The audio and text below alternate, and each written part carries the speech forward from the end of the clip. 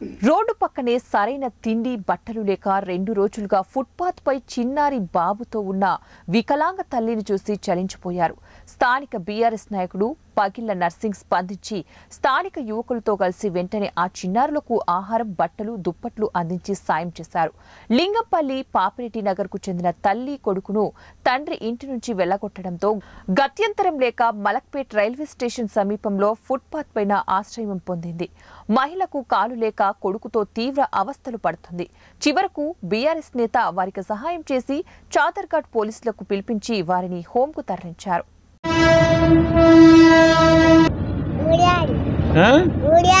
మురారి మీ అమ్మ పేరేం పేరు? అంజిల్.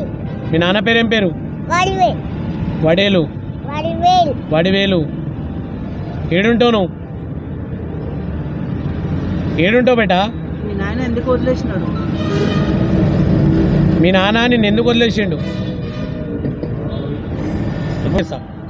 ఎందుకు వదిలేసిండు? ఎందుకు వదిలేసిండు?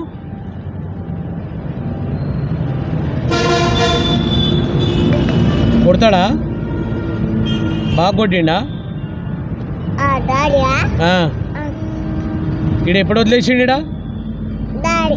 డాడీ వదిలేసిపోయిండా? ఎన్ని రోజులు అవుతుంది?